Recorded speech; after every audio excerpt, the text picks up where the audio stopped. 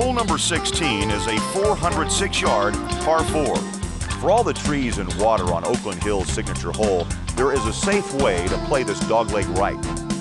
Keep the ball in the fairway and leave a short iron approach to a wide, shallow green that has a ridge running from front to back.